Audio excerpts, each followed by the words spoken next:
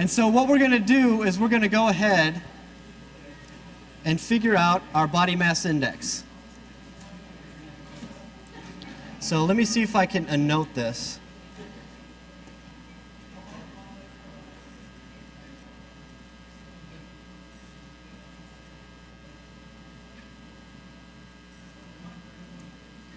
Okay, so our body mass index equals our weight in pounds. So I'm going to go ahead and just use my weight. I'm giving secrets away.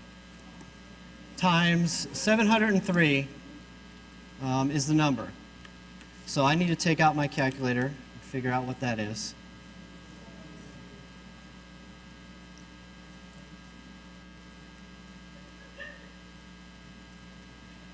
So you go ahead and take out your calculator and figure out what yours is.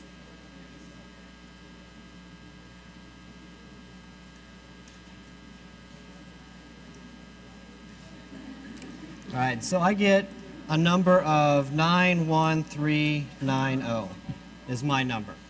Now what we need to do is we need to divide that by our height in inches. So I'm 5 foot 11, and so I need to take 5 times 12 plus 11.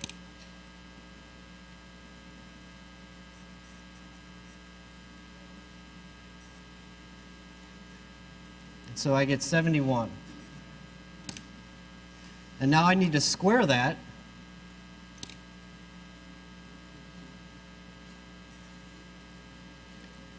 And so I get 5041.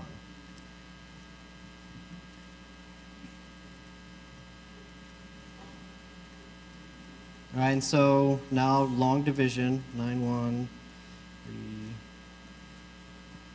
divided by 5041. So I get 18.12 is my body mass index.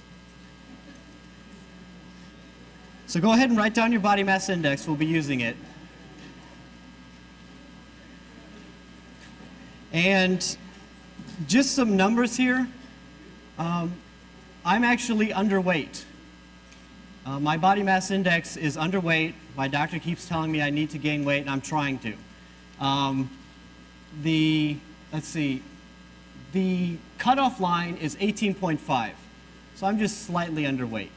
Um, and so if you're between 18.5 and 25, you're normal. If you're between 25 and 30, you're overweight.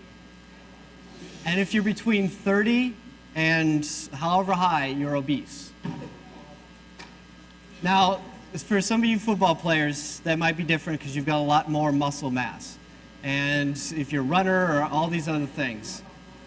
Um, so what I wanted to do, and don't be offended, I wanted to see the statistics in just this room of how many people are obese, overweight, and then normal, and then below weight.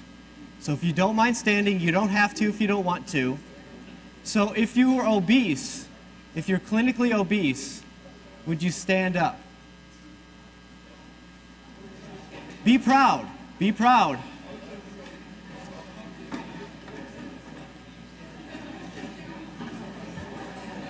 Okay, so I would say maybe 1 12th. Very, very small number. All right, so go ahead and sit down. If you're overweight, go ahead and stand up.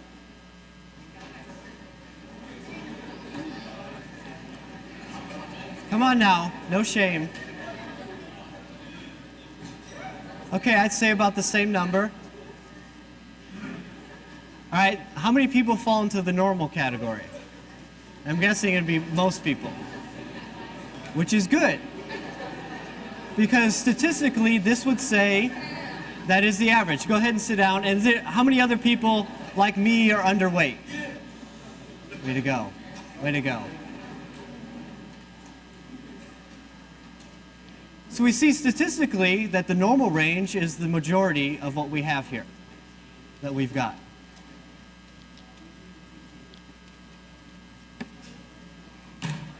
Uh-oh.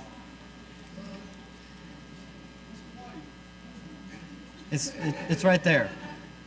It's right there.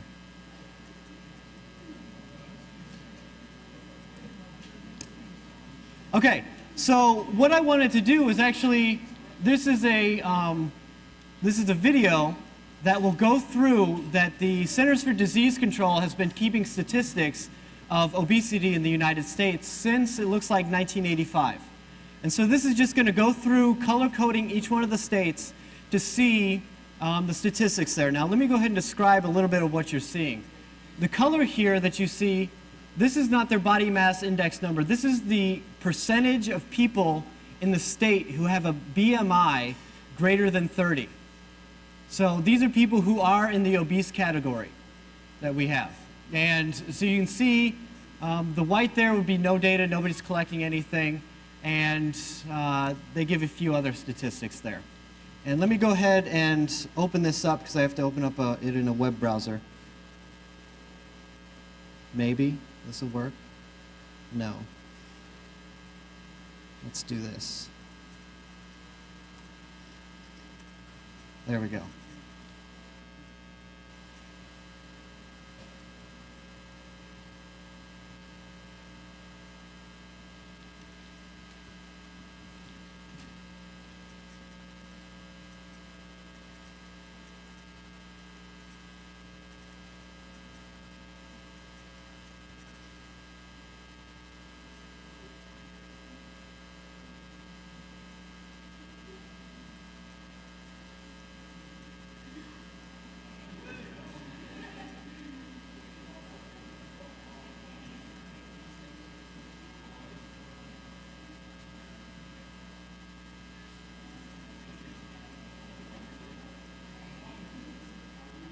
So you can see here that on the average, the Midwest has 25 to 30 percent of its population that is over that is obese. Um, it looks like I'd like to live in Colorado. They always seem to be behind on everything else, or in Hawaii there. Um, and so, another statistic: um, Indiana, the state of Indiana, we are the ninth fattest state in the country.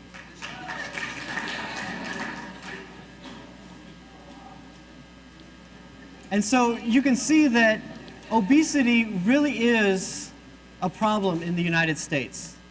Um, and if you look at the dates there, as we're reading through this book, Fast Food Nation, and they and when he pops out some dates about the number of fast food um, places in the United States, see if you can correlate it to what you saw here as the number of people who are obese increased. Um, I'm not saying that I would ever be able to say that there is a direct correlation between the number of fast food places and the obesity in America. It's a very complex issue. But it's really interesting that it could be one of the factors that is causing um, the United States to uh, become this obese.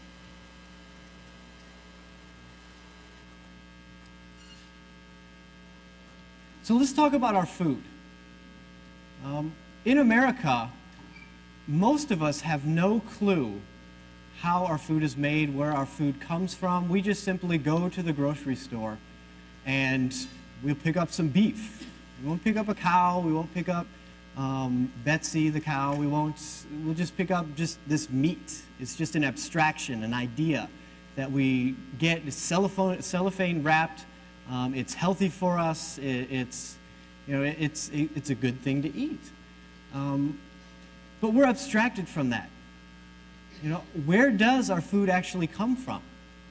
How's our food made or processed before it gets to us or before it gets to be cellophane wrapped in, uh, at your grocery store? Um, and what's in our food? The, in the past 30 years, what we eat as Americans has changed dramatically. Um, the food looks like what we've been eating, but the way it's made, the way it's processed, and what's in it has changed dramatically. And then also, can you cook besides SpaghettiOs? Can you cook without a microwave? Um, in the past 30 years, we've lost that ability. Most of us don't know how to cook. And so, what is it